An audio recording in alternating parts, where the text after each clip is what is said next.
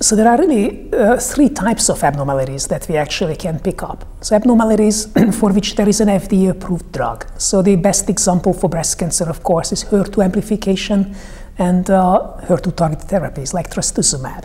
So we also pick up abnormalities in breast cancer, which have been successfully targeted in other diseases, like EGF receptor mutations that you can target with gefitinib successfully in lung cancer, or ALK translocations or activating mutations in ALK, which also have been shown to be a, um, a good way to identify lung cancer patients to, to ALK inhibitor therapy.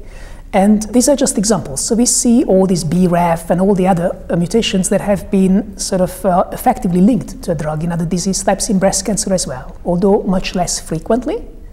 And of course, the, the, the sort of the, the uh, really important question is whether these abnormalities in breast cancer confer the same degree of sensitivity to a targeted drug as they do in, in the other disease types.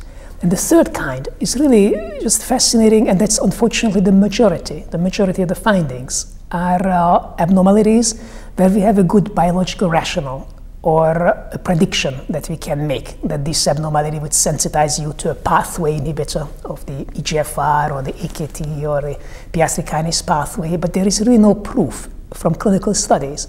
The proof only exists in the experimental preclinical setting.